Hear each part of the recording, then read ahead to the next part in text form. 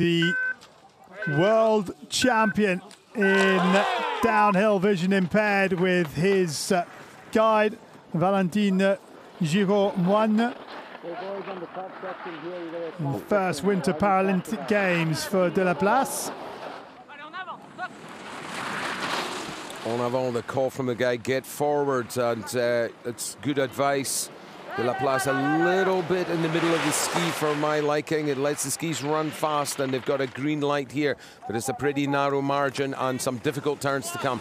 He needs to clean up the technique, make that outside ski carve more cleanly, more securely. 15 hundredths the right side of the clock for De Deleplace at the first time split different styles of guiding. Deleplace's guide a little bit further in front. Listen to the wind and see the wind on the snow surface at the top of the high Hautevaux ball. How much has that affected Deleplace? 54.87, Marcou's time at the bottom of the ball.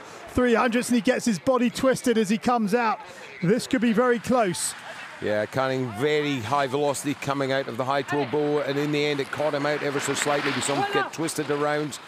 The damage will have been done. We have to wait to the line to get the final check, but they're tight together here now over that final jump. 113.81, Deleplace to take it away. No, he's outside by 29 hundredths.